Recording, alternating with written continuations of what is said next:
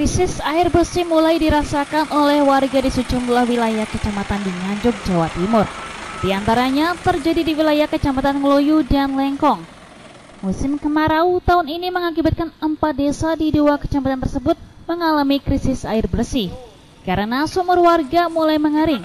Untuk kebutuhan sehari-harinya, warga hanya mengandalkan sumber di hutan yang berjarak sekitar 2 km dan dropping air dari BPBD setempat.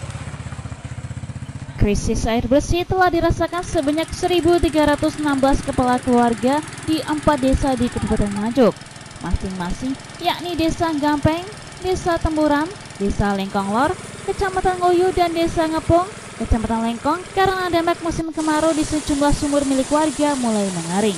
Seperti yang dialami warga Dusun Sendang Gogor, Desa Ngepong, Kecamatan Lengkong ini sejak bulan Mei lalu, di wilayah ini tidak turun hujan, mengakibatkan mata air mengecil dan mati.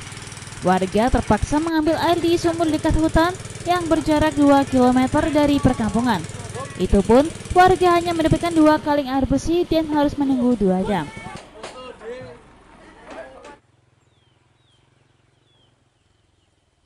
Meski kualitas air tidak layak konsumsi karena kandungan kapur tinggi, warga tetap mengambilnya untuk kebutuhan sehari-hari seperti mencuci dan mandi. Sekitar tiga bulan. Tiga bulan. Iya. E, kalau warga setiap harinya dapat air dari mana, Pak?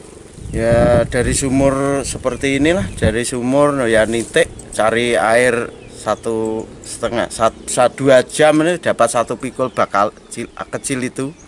E, terus kondisi airnya seperti apa ini, Pak? Kondisi airnya ya zat kapur pak ya masih aja zat kapurnya bukan tidak layak diminum sebenarnya tapi kita terpaksa memang adanya air seperti ini. Hmm. gimana lagi mau cari ke mana kalau tidak ada bantuan dari pemerintah? Kalau sumbernya masih ada?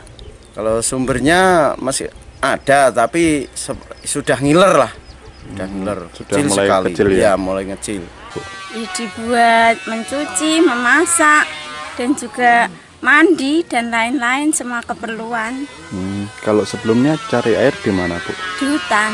Di hutan. Dan juga kebetulan di sana ada di namanya sawah di sawah hutan itu loh mas. Hmm. Cuma sekarang debitnya sudah juga sudah kecil. Sudah kecil. Uh, kondisi airnya seperti apa bu? Kondisi air di sini. Hmm airnya ya mulai bau karena kan sudah itu sampai sudah apa keluarnya sedikit kan jadi sudah mulai bau-bau tanah. Hmm. Kalau kekeringan ini sudah sejak kapan ini? Sejak mulai bulan 4 kemarin sudah nggak ada hujan, sudah mulai kekeringan sampai sekarang. Sudah kesulitan air Bu ya? Iya. Sementara itu, Kepala BPBD Kabupaten Nganjuk Hendro Joko Sudarsono mengatakan Sejak pertengahan Agustus lalu, BPBD telah melakukan dropping air bersih 2 truk tangki per hari di empat desa yang krisis air. Namun, sejak tiga hari lalu, dropping air sudah ditingkatkan sebanyak 10 truk tangki per hari.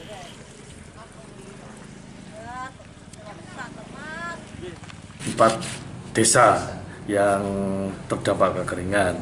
Satu di desa Ngepung, Dusun Sendang Gogor, jadi desa Ngepung itu ada beberapa dusun yang terdampak itu baru Sendang Gogor, yang ke, di kecamatan Lengkong, dan yang kedua di kecamatan Luyu itu ada tiga desa, Tempuran, desa Gampeng, dan desa Lengkong Lor. Dari empat desa di dua wilayah kecamatan tersebut, sudah kami lakukan intervensi melalui dana PBD Kabupaten Nganjuk, dropping air. Yang sampai saat ini sekitar kurang lebih ada hampir 895 ribu liter kisaran itu kurang lebihnya yang kalau di rate sejumlah ekivalen 179 rate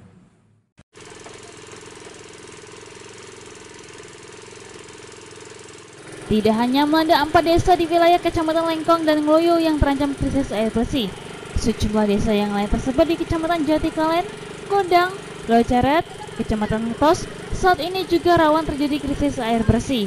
Dari Nganjuk Jawa Timur, Nganjuk TV melaporkan.